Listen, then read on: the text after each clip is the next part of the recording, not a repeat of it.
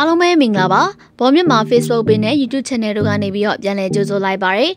ကိုသမားကြီးပူဖွန်ကိုမသိရဲ့ဘောလုံးပြည်သက်မရှိတော့ဘူးလို့ထင်ပါတယ်ပူဖွန်ကိုဘောလုံးသမိုင်းတစ်လျှောက်အကောင်းဆုံးကိုသမားတွေကတူဖြစ်သတ်မှတ်ရမှာပါပြန်မကင်းလက်စွမ်းနေနဲ့လက်ရှိအသက်43နှစ်အရွယ်ထိဘောလုံးကစားနေစေပူဖွန်ကလက်ရှိအချိန်မှာတော့သူ့ရဲ့ professional ကစားသမားဘဝအစတင်ကြရပါမအသင်းမှာပါဝင်ကစားလျက်ရှိပါတယ် ပြည်သက်တို့အနေနဲ့ပူဖွန်ကိုတခြားလုံးကိုဖမ်းလာတာကိုကြည့်ရှုအားပေးခဲ့ရတာကြောင့်ဘောလုံးစတင်ကစားချိန်ကလေးကကိုသမားနေရာကနေကစားဖြစ်ခဲ့တယ်လို့ထင်ကြပါလိမ့်မယ်။တကယ်တော့ဘောလုံးသမားဘဝအစမှာပူဖွန်ကစားခဲ့တာကကွင်းလန်နေရာပဲဖြစ်ပါတယ်။ဒါဆိုရင်ပူဖွန်တယောက်ဘာကြောင့်ကွင်းလန်လူအဖြစ်ကနေကိုသမားဖြစ်ကိုရောက်ရှိခဲ့ရတာလဲ။ဒီအကြောင်းလေးကိုသိရဖို့အတွက်ဗီဒီယိုလေးကိုအဆုံးထိကြည့်လိုက်ကြရအောင်ပါ။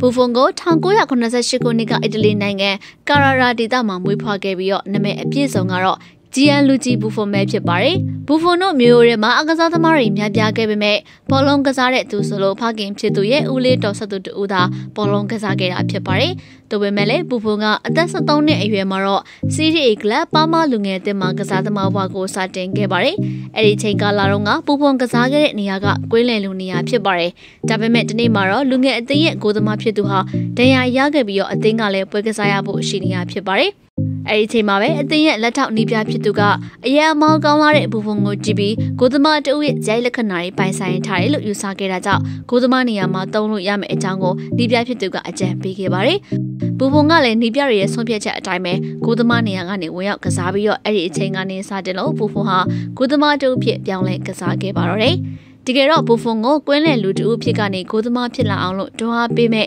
တခြားသောဖြစ်ရပ်တစ်ခုကလည်းရှိနေပါတယ်1990ကမ္ဘာဖလားကိုအီတလီနိုင်ငံမှာကျင်းပနေခဲ့ပြီးကင်မရွန်လက်ရွေးစင်အသင်းရဲ့ကိုသမားဖြစ်သူသောမတ်အန်နိုကိုကလက်ဆွမ်းကောင်းနေပြသနေခြင်းလည်းဖြစ်ပါတယ်တကယ်တော့ Thomas Angono ရဲ့လက်ဆွဲတွေကိုကွင်းလက်လိုဖြစ်ကစားနေတဲ့ဘူဖုန်ကပြိုင်ပွဲတစ်လျှောက်စောင့်ကြည့်နေခဲ့ပြီးတော့တိတ်တခုသဘောကျနေကြတာဖြစ်ပါတယ်။ ဒီအချိန်မှာပဲလူငယ်သေးတွေမထင်ဘက်ဘက်နဲ့ကိုဖမ်းရဖို့ရှိလာရကနေစတင်ပြီးဘူဖွန်တယောက်ကိုသမားဘွားကိုရောက်ရှိလာခဲ့တာပါထိုစဉ်ကကိုသမားဖြစ်သူ Thomas Anno ကိုကိုသဘောကျခဲ့ရတဲ့ပတ်သက်ပြီးဘူဖွန်က1990ကမ္ဘာဖလားတုန်းကဆိုတခြားသောနာမည်ကြီးကစားသမားတွေအများပြားဝင်ရောက်ရှင်ပြိုင်ခဲ့ကြတာပါဒါပေမဲ့ကျွန်တော်မျက်လုံးထဲမှာအထူးသဘောကျမိတာကကင်မရွန်ကိုသမားကြီး Thomas Anno ကိုပါပဲသူကိုဖမ်းတာကိုကြည့်ပြီးတော့ကျွန်တော်လည်းကိုသမားဖြစ်လာတာပါလို့ပြန်လည်ပြပြခဲ့ပါတယ်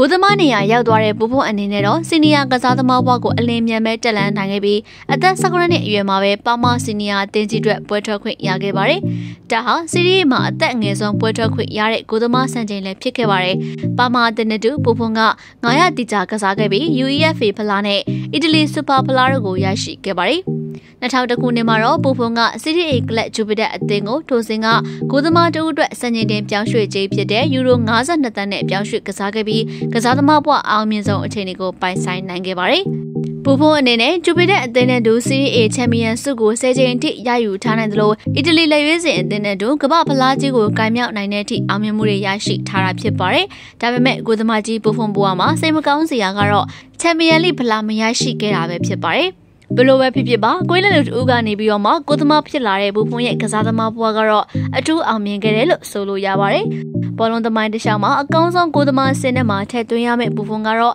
လက်ရှိမှာအသင်းဟာပါမအသင်းမှာပဲကစားနေကြတာဖြစ်ပါတယ်။